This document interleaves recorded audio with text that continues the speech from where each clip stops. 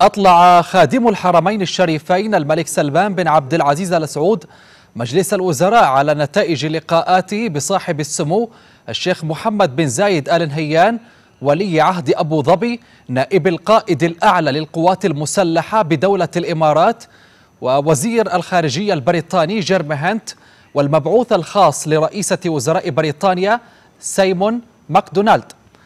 وثمن مجلس الوزراء زيارة خادم الحرمين الشريفين لمنطقتي القصيم وحائل التي شهدت تدشين ووضع حجر الأساس لعدد من المشروعات التنموية.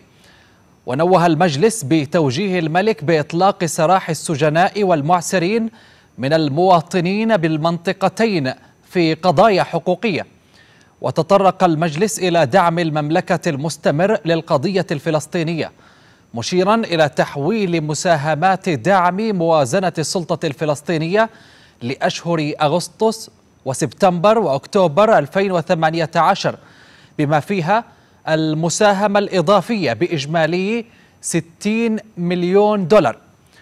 وجدد مجلس الوزراء تفجير الموصل العراقية إدانته لتفجير الموصل العراقية ولهجمات انتحارية في العاصمة الصومالية مقديشو.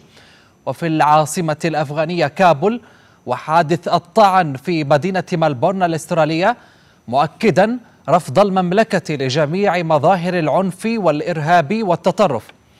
وأكد المجلس أن رعاية خادم الحرمين الشريفين حفل تكريم الفائزين بجائزة الملك خالد تعد تعبيرا عن دعمه المستمر للجائزة بما يحقق رسالتها الإنسانية والاجتماعية والتنموية.